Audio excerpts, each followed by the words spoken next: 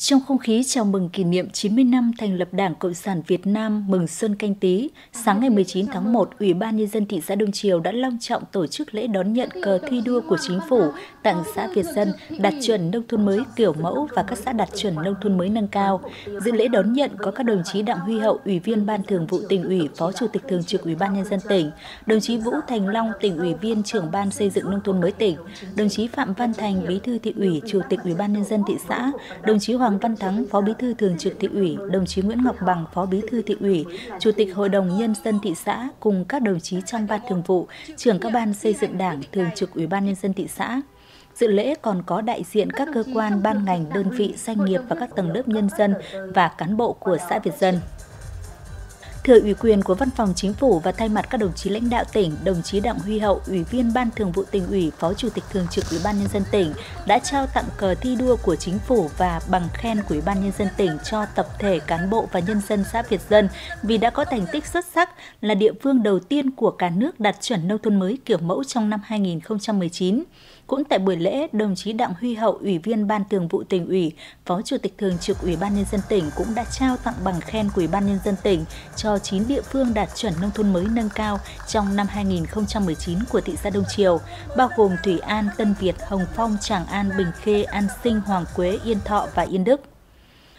Trên cơ sở kết quả xây dựng và hoàn thành các tiêu chí xây dựng nông thôn mới vào năm 2013, thực hiện chỉ đạo của tỉnh, của thị xã, xã Việt Dân đã tiếp tục nâng cao chất lượng xây dựng nông thôn mới với tiêu chí nông thôn mới kiểu mẫu, với tinh thần say xưa nhiệt tình tâm huyết, cả hệ thống chính trị của xã và các tầng lớp nhân dân của xã Việt Dân đã vào cuộc một cách tích cực nhằm sớm hoàn thiện các tiêu chí của xây dựng nông thôn mới kiểu mẫu, trong đó trọng tâm là nâng cao năng suất chất lượng và giá trị trong sản xuất nông nghiệp, nâng cao thu nhập, giảm hộ nghèo, cải thiện chất lượng giáo dục y tế, văn hóa, đảm bảo vệ sinh môi trường, giữ vững và đảm bảo an ninh trật tự, cải cách trong công tác hành chính công. Trong nông nghiệp, các hộ dân được định hướng và hỗ trợ quy hoạch trồng na dai cây ăn quả chủ lực của địa phương theo tiêu chuẩn Việt ghép, ứng dụng công nghệ cao, tăng năng suất và dán tem truy xuất nguồn gốc kết nối tiêu thụ.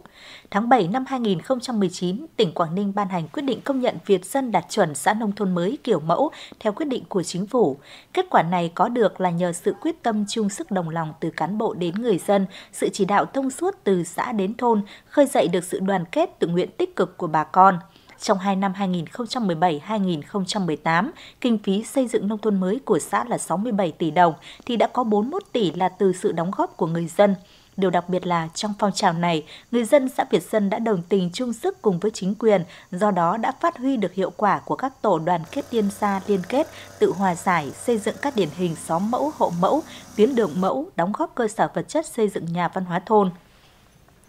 Đến nay không chỉ đời sống kinh tế nâng cao, mà đời sống tinh thần của người dân Việt dân được nâng lên nhiều.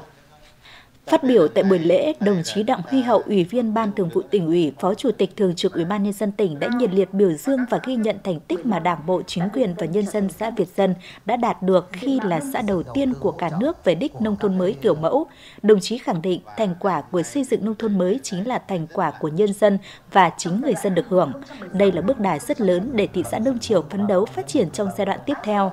Đồng chí mong muốn thị xã Đông Triều nói chung, các địa phương của thị xã nói riêng cần say sưa hơn nữa, tâm huyết hơn nữa và bắt tay vào làm một cách thực sự để Đông Triều có thêm nhiều địa phương về đích nông thôn mới kiểu mẫu, từng bước hoàn thành mục tiêu trở thành thành phố trước năm 2025. Cũng tại buổi lễ đón nhận cờ của chính phủ, Bí thư thị ủy, Chủ tịch Ủy ban nhân dân thị xã Phạm Văn Thành đã ghi nhận thành tích trong phong trào xây dựng nông thôn mới nâng cao, nông thôn mới kiểu mẫu, đặc biệt là với xã Việt Dân. Thành tích của xã Việt Dân là động lực rất lớn để các địa phương còn lại nói riêng và thị xã Đông Triều nói chung phấn đấu hoàn thành mục tiêu nông thôn mới kiểu mẫu bốn nhiệm vụ trọng tâm cụ thể đã được Bí thư thị ủy nêu ra để thị xã phấn đấu hoàn thành mục tiêu này. Trong đó phải xác định xây dựng nông thôn mới kiểu mẫu là nhiệm vụ trọng tâm thường xuyên liên tục. Trong năm 2020, thị xã phấn đấu hoàn thành xây dựng nông thôn mới nâng cao và có thêm 4 xã gồm Bình Khê, An Sinh, Tân Việt, Yên Đức đạt chuẩn nông thôn mới kiểu mẫu, sâu sát sáng tạo trong lãnh đạo chỉ đạo, chăm lo, nâng cao tới đời sống nhân dân, đảm bảo an sinh xã hội, chăm sóc sức khỏe người dân, coi trọng phát triển giáo dục, phát triển kinh tế, văn hóa với củng cố an ninh quốc phòng. Xã Việt Dân đạt chuẩn nông thôn mới kiểu mẫu, nhiều địa phương đạt chuẩn nông thôn mới nâng cao, thị xã đủ tiêu chí đô thị loại 3, đây là cơ hội triển vọng và tiền đề vững chắc để Đông Triều trở thành thành phố trước năm 2025, trở thành đô thị phát triển năng động ở cửa ngõ phía Tây của tỉnh, đóng góp cho sự phát triển của tỉnh Quảng Ninh nói riêng và của vùng tam giác kinh tế trọng điểm Bắc Bộ nói chung. Cũng trong không khí của buổi lễ đón nhận cờ thi đua của chính phủ, Ủy ban nhân dân thị xã Đông Triều, xã Việt Dân đã tổ chức cắt băng khánh thành trạm y tế xã và gắn biển công trình đường giao thông của xã chào mừng Đại hội Đảng các cấp.